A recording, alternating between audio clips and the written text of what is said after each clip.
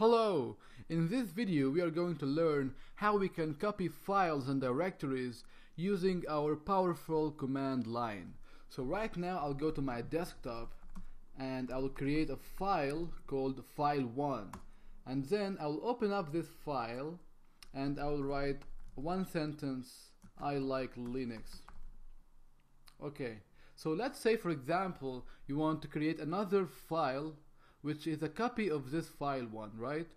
So all you need to do is just say cp file one and file and your new file name here. So this will create another copy of file one and it will it will call it file two. So if I execute this command and open up file 2 here as you can see it has the same sentence of file 1 which is I like Linux great so this is one way you can use the cp command which is cp stands for copy here of course. Okay let's the okay let's now update the contents of file 1 I like Ubuntu. So now what if I execute the same command file 1 file 2 so file 2 here already exists right? So the cp command here will only update file 2 to contain the new con the the to contain the new contents of file 1 so if I execute this command, I would see that file 2 here will also have the line I like Ubuntu. Okay, that's perfect. So, so uh, as a summary here, if, the, if file 2 does not exist, it will create this file. However, if it does exist, it will just update the contents of this file. Okay. Now let's create a directory. I'll call it directory 1 okay let's let's say for example like right now directory 1 is empty as you can see. If you want to copy these two files to directory 1 all you need to do is just say file 1 file 2 and then you have to specify a destination directory which is directory 1 so in general you would have any file name any file here file name 2 then file name blah blah blah so you can have any files, you can copy any number of files, but you have to specify a destination directory.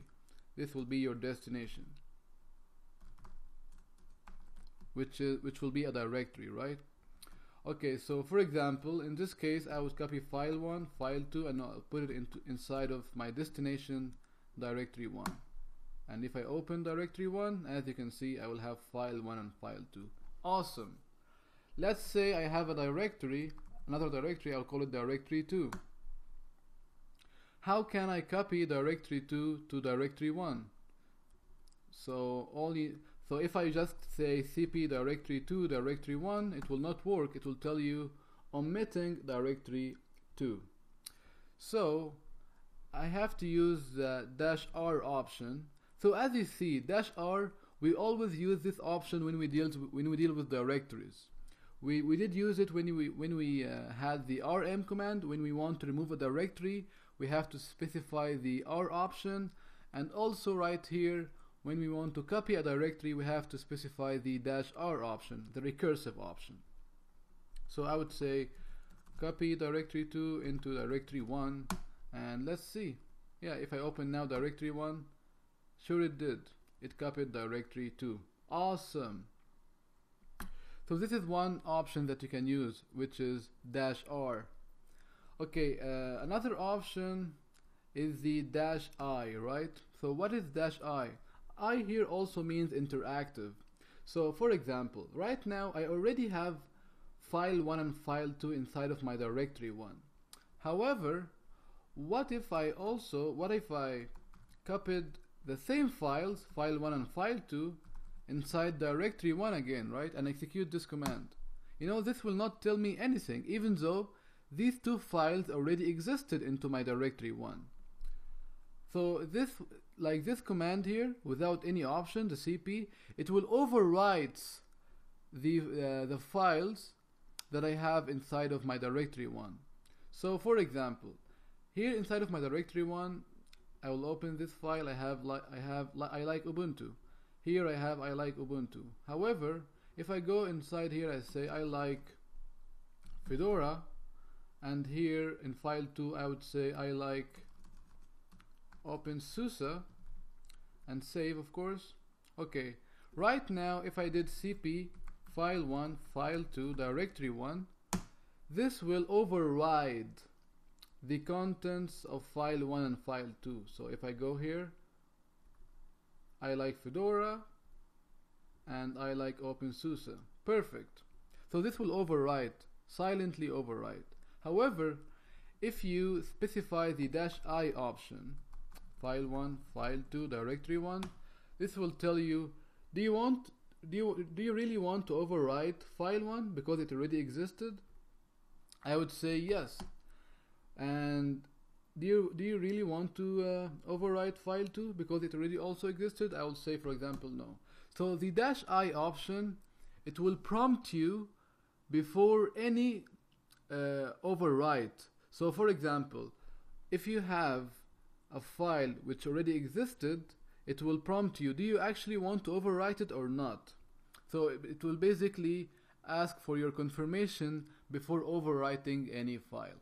This is uh, how you can use the dash i option. And you can also use the cp dash v option which is also for uh, verbose.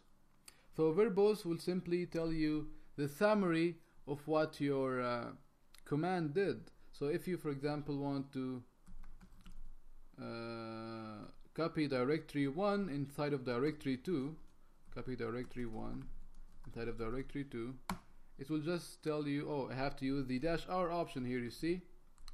Dash r option so directory 1 directory 2 as you can see so it will show you like kinda uh, a summary of what it did. It did put directory 1 inside of directory 2 and it put all the files inside of directory 2 so if I open now directory 2 I will have directory 1 which itself has two files and directory 2 perfect. Uh, okay so that's it actually for the cp command. And before I close this video I just want to delete all these files. So I'll use my rm command to delete directory 2 directory 1 file 1 and file 2 done. That's it for this video guys. Ciao